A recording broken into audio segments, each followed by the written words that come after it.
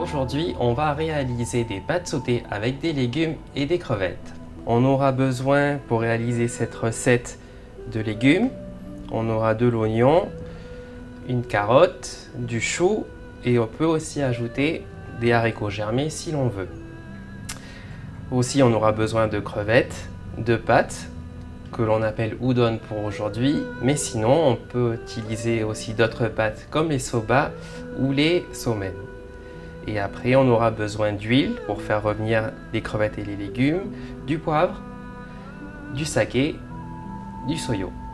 Et pour terminer, on va agrémenter le tout de gingembre confit et d'ail séché.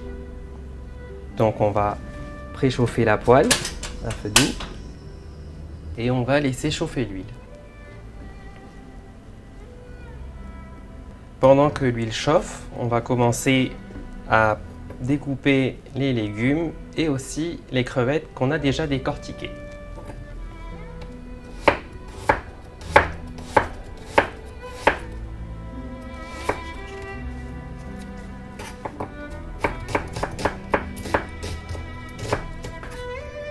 Donc là, on a découpé l'oignon et on va prendre deux tranches de carottes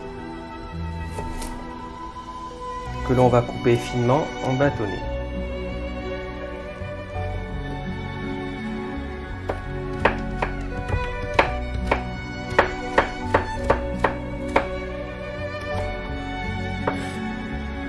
Là, pendant qu'on a découpé les légumes, l'huile est chaude et on va y mettre les crevettes.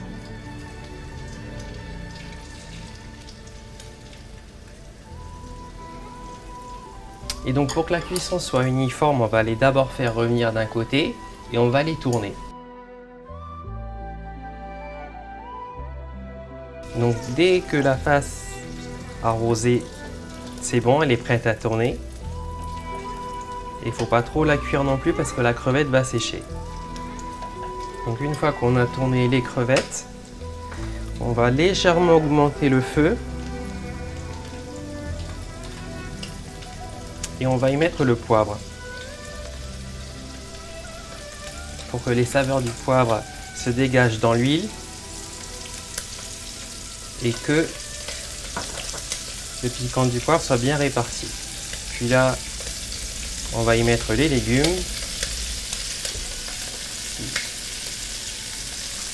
Un plus d'oignons et de carottes.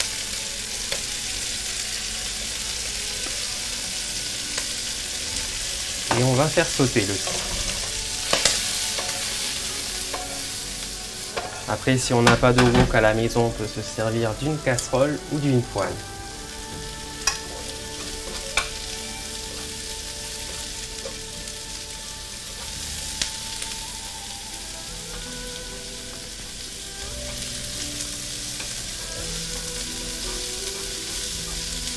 Donc une fois que les légumes bien doré, on va y mettre le saké.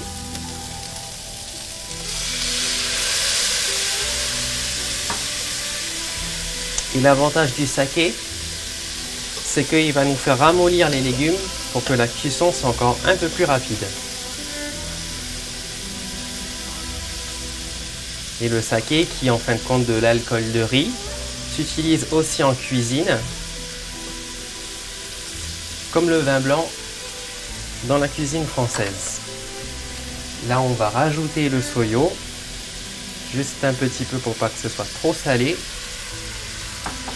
Et après, si c'est pas assez salé, vous pouvez en rajouter.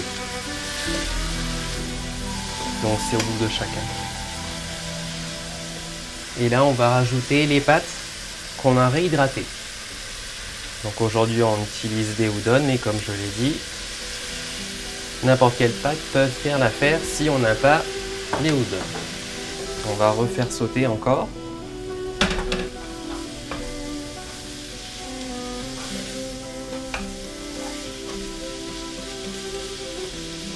Et là, on va laisser les pâtes s'imbiber des sauces et des sucres et des saveurs.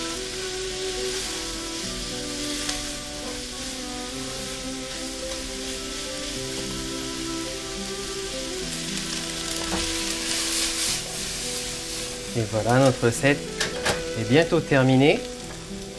On va disposer le tout dans un plat.